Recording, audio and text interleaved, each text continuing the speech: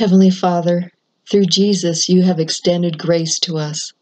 Help us to comprehend your grace more and more in our lives. Grant us an increase of grace each day so that we can respond to your love by loving others. Amen.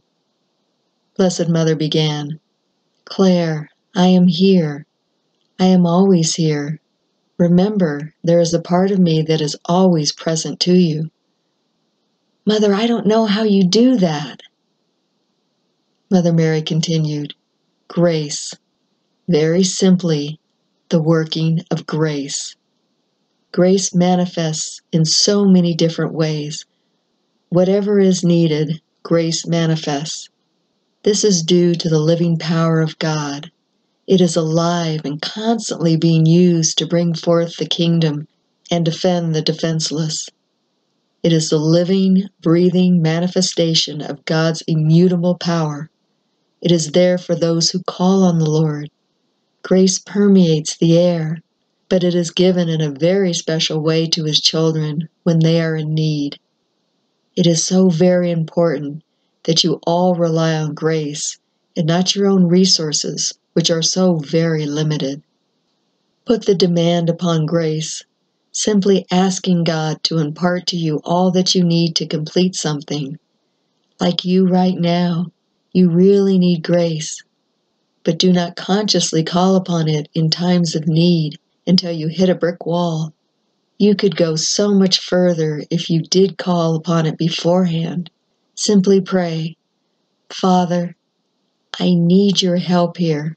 Please assist me with your grace. And then watch what happens. I promise you that you could get so much further faster if you would approach everything as a pauper, calling upon His grace even those things that you feel you already have the skill sets to do. My children, you are nothing without grace. Either the grace given at your birth or the grace is acquired by faithfulness to the will of God. Once you have acquired it, then it is good that you give all the credit to the Lord. Remember, you are but the vessel. He could have chosen others, but He chose you so be faithful to what He has given to you. There is much to do in this world, and those who make full use of this grace excel at what they do.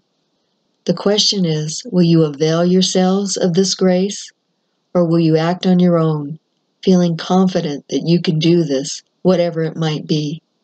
If you keep your heart and mind on Jesus, you will more often call upon Him to get something done that is beyond your skill level.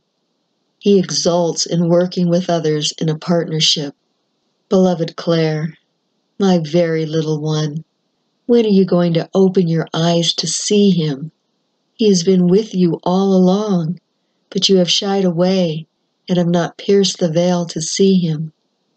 He is beside you right now, even as we speak, waiting for you to truly grasp his holy hand and look into his eyes without shame or fear. What you imagine to be blocking you is not the case. Rather, it is your reticence that is blocking you.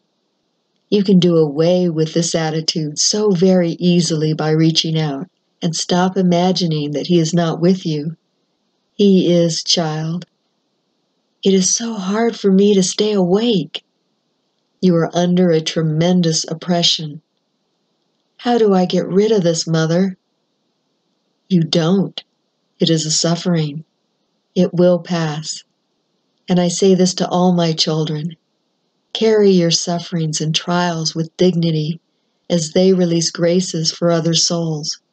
Your struggles are temporary, and they will pass soon enough.